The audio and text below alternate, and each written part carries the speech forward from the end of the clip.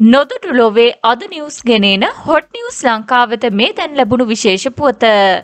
ත්‍රිකුණාමලය කින්යා කලපුව හරහා යාත්‍රා කරමින් තිබූ පෞද්ගලික පාලම් පාරුවක් විසිත් තුන් වනදා පෙරවරුවේ පෙරලී යාමෙන් දරුවන් සිව් දෙනෙකු ඇතුළු පුද්ගලයන් හය දෙනෙකු මී ගොස් ඇත.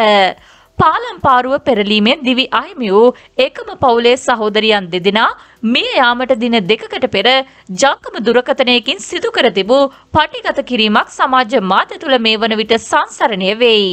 මේ අතර එම කලපුව හරහා පාරුවකින් මගින් ප්‍රවාහනය කිරීමට නීත්‍යානුකූල නොවන අවසරයක් ලබා දුන් කින්යා නගර සභාවේ සභාපති එස්.එච්.එම්. නලීම් මහතාද අද කින්යා පොලිසිය විසින් අත්අඩංගුවට ගෙන ඇත. ඔහු අද ත්‍රිකුණාමලේ මහෙස්ත්‍රාත් අධිකරණයට ඉදිරිපත් කිරීමෙන් අනතුරුව දෙසැම්බර් නම වනදා දක්වා රක්ෂිත බන්ධනාගාර ගත කර ඇත.